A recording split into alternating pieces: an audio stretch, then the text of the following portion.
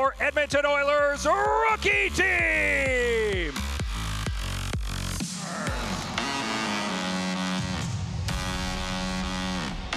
Six players from Sherwood Park and a number of others from the area. A lot of local talent on display and off the rush a shot by Colin Larkin. Coaching the Oiler rookies tonight, a big hit on the far side, and that was landed. Smythe stays with it, controls down low in the left corner. This is a good job by Polai in front, and a quick shot by McLeod, juggled and then held by Dave. Off the plexiglass. Benson will give it right back to him. Another shot for the point. Redirected, quick chance, and a save made by Daig, and it was sitting there in the slot for a moment before being cleared to the corner by Goddess. Back in front, Benson wide open, wrist shot, score, and finally the Oiler rookies break through. Benson to Ryan McLeod, who buries it, and finally Edmonton is able to score a goal against NAIT MacEwan after dominating this first period. Well, there again, two second round draft choices that the Oilers need to make some hay with. Ryan McLeod finishing off, but the presence of mind for Tyler Benson, and we've already seen Jack, he's a playmaker. He can flat out uh, find guys open on the ice. He had an opportunity to shoot the puck instead he swung it, got deflected off his stick, and McLeod went down on one knee, had a yawning cage, and no chance for Mark Olivier Day. Ola streaking down the middle. He'll hit the line. Drop pass. McLeod across to Caleb Jones. Has Daig down and out. Wraparound score. Caleb Jones makes it 2 0. Edmonton Oiler rookies. What Oiler rookies caught NAIT MacEwan in transition. And Jones has been very active. He's a dynamic skater. There's no question about that. Jumped up, joined the rush. It was a four on two, and he picked the puck up on the short side and wrapped it around the goal, a yawning cage as Olivier Daig right uh, skate toe pick on the backside. Henson another assist. Finding Jones back door. Any one of three or four players might have scored that goal. And they really had NAIT MacEwan swimming a bit on that rush. A bit off differential here. Five on three, still in effect for another minute. As Edmonton looks to build on 2 0 lead. McLeod in front, deflected, quick shot, score. Tyler Benson found the loose puck right side of the net, and he's got a goal and two assists tonight. It's 3 0 Edmonton Oiler rookies. Well, not much of a chance here for Mark Olivier Daig. A lot of skill on the ice for the Oiler rookies, and the two guys in the fence. Uh, Bouchard might get some power play time in Edmonton, at least at the start of the year, and I think Nolan Day we're going to see for Jay Woodcroft is going to spend some time in the power play down in the minors. And uh, they threw it around, and then the Oilers just you outman oh, NAIT MacEwan down low.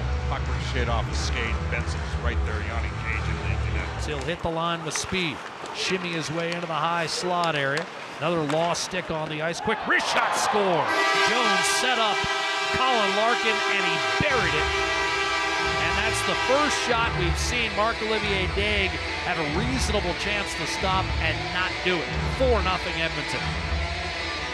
Well, Jones gained zone entry, and it was a one-man zone entry as that. Came down the right side and then butt hooked right through the middle of the ice.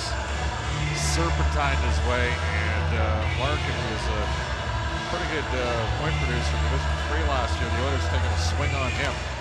Fired one home, and as you mentioned, probably one that Olivier Daig would like to have back.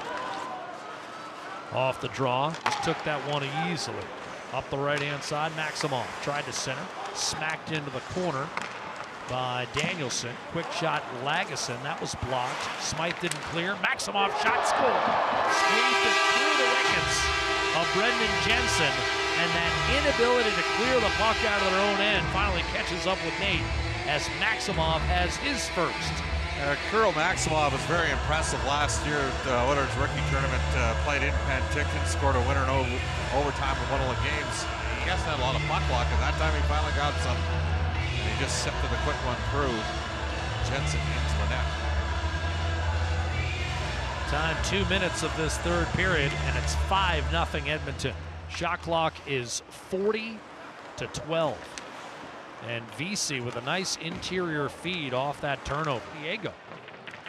Well, that's Same making, San that's Diego making, Sports Arena where Dallas Eakins is now the coach. Here's Lagesson. Quick shot, save made, rebound score. And it's Tyler Vesel who has had numerous opportunities. And that one a backhander, he's able to slide home on the rebound. 6 0, second power play goal of the game. This one at 3.59 in the third period. Well, it's starting that up right now, and you win a face-off on a power play. You have the puck, and Yanni Cage at the side of the net for Vesel. Lagesson shot. Vesel tipped it on its way to the Yep. goaltender. Actually, kind of created the rebound from which he Van scored. Stralen Sets a screen for Luke Esposito coming out of the right corner. Wrist shot score. It went right through his defenseman, Austin Uremchuk. And I'm not sure Jensen ever saw that puck until it was through him. Well, Luke Esposito played four years at Harvard. He's got a pretty famous uncle. You may have heard of him before, Mark Messier. Helped lead the Crimson to two conference championships while at Harvard. and just button hooked and let one fly. And Jensen was pretty deep in the crease. He's faced a lot of rubber here, and I went right through the legs of the defenseman, Jack, two inches in front of the ball. It's uh, seven zip. And then through Jensen's legs. 7 nothing. Seven goals on the outlet pass on target for Marody. Right wing forced out wide. Threw it on net where it's poked home by McLeod. His second goal of the game, and it's 8 nothing. Time 14.04. Uh, we mentioned before Ryan McLeod, you know, can he be an Erik Haula type of player because he can really skate. That play started all the way back with the defensive zone support. And then Marody just bided his time until McLeod drove the lane hard and he fired a pass in front. McLeod got a tip on it past Jensen. 8 nothing and a real heads up play there as well from Cooper Marody. For third period. Now to Jones. Moves it over to Bouchard. Gets it back. Right circle. Loads. Fires and scores. Two goals, two assists for Caleb Jones. That one set up by Bouchard. 9 nothing. Well, not much to say there. I mean, the other rookies were able to complete an entire uh, ozone line change. Bouchard with a lot of poise with Jones just to give and go, and there was a net front presence on the play. Actually, two other looking players in front of the net.